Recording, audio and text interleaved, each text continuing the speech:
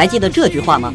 请问一下，你喜欢篮球吗？你知道吗？因为篮球《灌篮高手》还没开始制作，就要被否决了。在《灌篮高手》创作的前期，作者井上雄彦给出版社投稿，说自己想画篮球的漫画，可出版社的编辑却不喜欢篮球题材，认为身体对抗性太差，观赏性太低，不同意连载。于是作者就骗编剧说这是一部校园爱情喜剧系列的漫画，这才得以让漫画诞生。一九九零年，《灌篮高手》正式连载，果不其然，读者根本不喜欢。毕竟篮球题材在当时日本很小众，没人看。哪怕作者在漫画里加入了大量搞笑画面，观众依旧不买账。既然篮球不行，那就打架吧。于是，在篮球场打架的画面迅速让《灌篮高手》吸引了人气。而其中出场的三井寿，本来作者只是让他轮流被打就可以退出，结果越画越喜欢，于是龙套变成了主角团成员。而那一句“教练，我想打篮球”，更是让《灌篮高手》火遍全日本，并在国内也掀起一阵篮球风。从此，《灌篮高手》成了跟《龙珠》齐名的动画。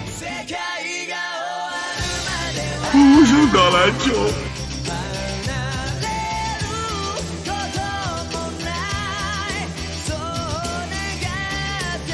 而漫画中观众席上有个人物很眼熟，就是这个。据说当时作者井上雄彦追求美少女战士的作者五内直子，并在漫画里画出了水冰月的形象，用这种隐晦的方式示爱。不过他失败了，五内直子最终嫁给了抽烟喝酒打麻将的脱稿狂魔富坚义博，也就是《悠悠白书》和《全职猎人》的作者。一九九三年，《灌篮高手》进行动画制作，动画的播出让他的关注度直线攀升。但由于动画组私自改编，以及为了延长时长挣烂钱，居然搞出了一个投篮投一集的拖拉画面。这样的剧情让追求完美的井上十分纠结痛苦，也和动画组的矛盾越来越多，所以到了全国大赛篇，他就终止了与动画组的合作。而在漫画全国大赛篇画完后，作者就告诉出版社《灌篮高手》准备完结。这一消息直接在出版社掀起大地震。由于当时《龙珠》和《悠悠白书》都已经完结，出版社将所有希望全部压在了《灌篮高手》身上，希望作者井上雄彦可以增加后续内容。而此时的井上雄彦却压力山大，加上和动画组的矛盾，他已经不想再继续连载更新。他跑到老师家里寻求意见，老师建议他不如画一场史上最精彩的比赛来结束《灌篮高手》，也算是对观众。和自己有个交代，而这也是他一直想要的结局。于是就有了漫画中最精彩的一场比赛——湘北对阵山王工业。他用最极致的分镜、最细致的画工去刻画每一个镜头。四十多页的漫画没有一句台词，即便如此，也让读者深刻感受到比赛的紧张。而安西教练那句“如果放弃，比赛也就到此结束了”，不仅改变了三井寿的一生，也改变了许多读者的人生。我们一直以为湘北会夺下全国第一，但却最终以战胜山王所完结，成了无数人青春时期最大的遗憾。但岁月流转。至今，我们才明白，总以为青春只要够美好，人生就可以没有遗憾，但却不知制造遗憾的偏偏是青春。就像井上雄彦说，他喜欢稍纵即逝的耀眼，